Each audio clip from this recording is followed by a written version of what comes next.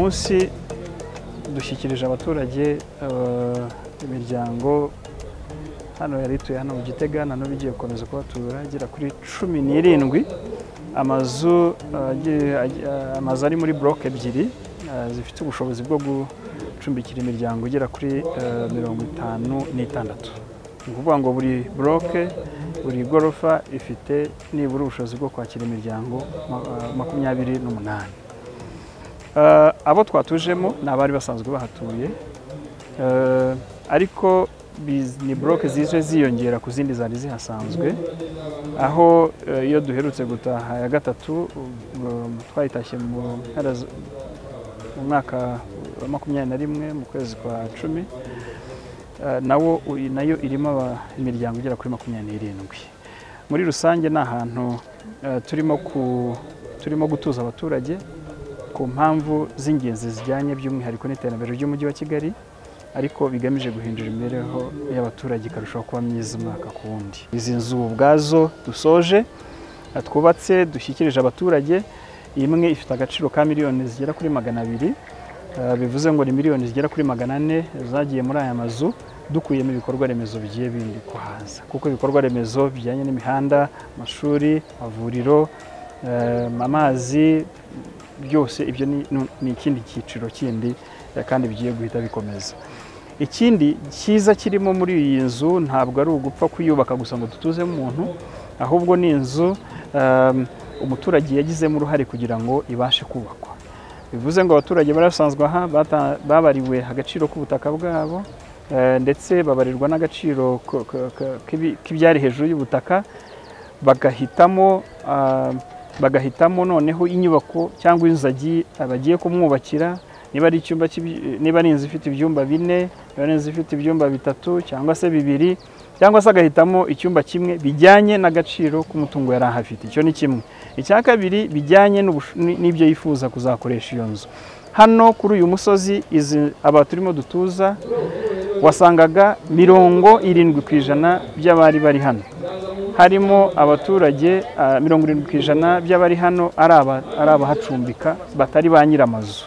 Ariko ba nyir'amazu bo batahari harimo rero ba nyir'amazu bagiye muri izi nzu ariko noneho harimo n'aba- n'abahakodeshaga bifuza kubona amazu. Bakodesha meza kandi aciriritse.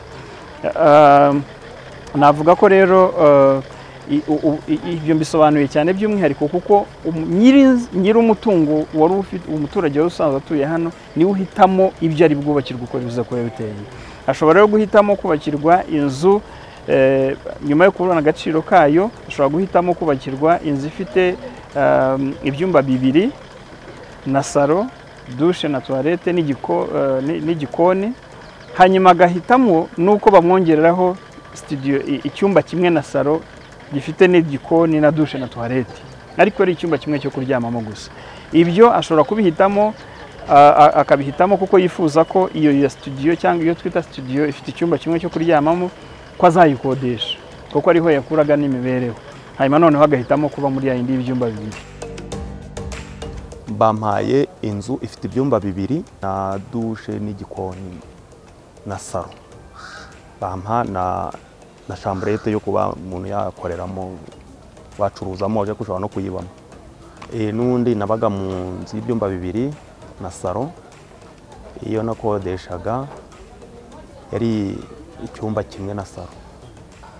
Hari hananiwe rwose kubera ko ntabwo amazi umu- umuturage yageraga amazi inzira y'amazi itaboneka mugasanga hari imanza ngo mwamennyeho amazi mwagize no ku ruhande rwo hano hano hari hari.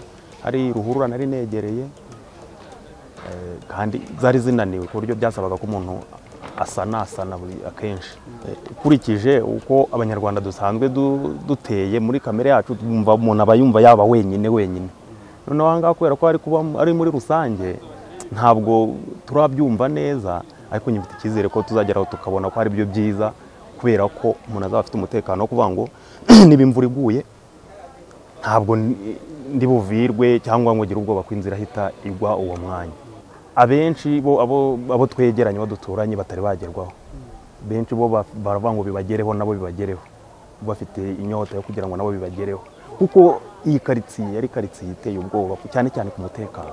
Kubera ubuzu bwari bwinshi umuntu agakata ntumenye aho akatiye ariko uzi kubera ko zaba zisanzuye abenshi bashaka ko byabageraho.